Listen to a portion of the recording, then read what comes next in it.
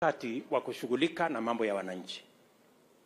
Haiwezekani ya kwamba tunamaliza uchaguzi alafu baada ya uchaguzi badala ya kushughulika na mambo ya wananchi ati tunaanza tena kushughulika na mambo ya viongozi. Ndio nimewaambia, tafadhali,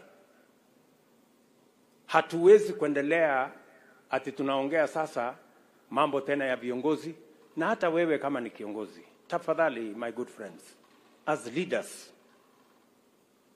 it is incumbent upon us, even as we pursue the things that matter to us as leaders, we cannot put in jeopardy the issues that matter to the people.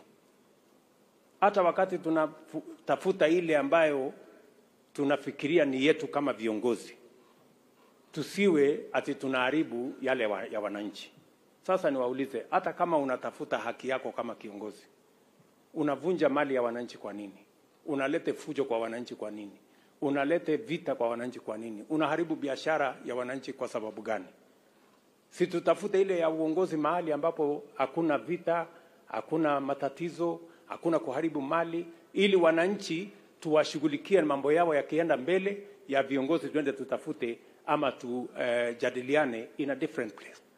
Na ndio sababu tulikubaliana wao walete kamati yao, sisi tumetengeneza kamati yetu, waketi chini waongee, ile watakubaliana tupeleke Kenya mbele, lakini waniwachie nafasi nipange mambo ya maendeleo ya taifa letu la Kenya na wananchi wa taifa letu la Kenya.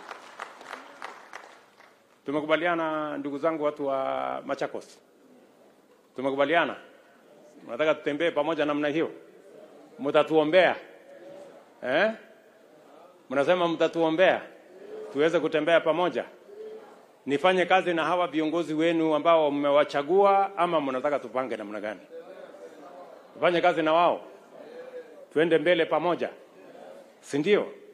Kwa sababu hiyo uchaguzi ingine iko hapo mbele, na hiyo tuta, si nyinyi ndio mafundi wa kuchagua, nyinyi mnajua vile, vile ya kupanga hiyo maneno.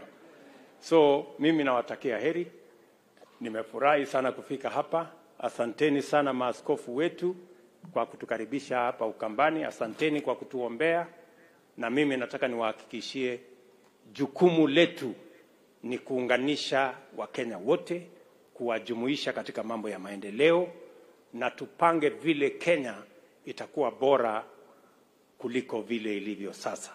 All of us moving together. So watu wa Ukambani, asanteni sana. E, mtanisamehe kidogo kwa sababu tuko na shughuli ingine.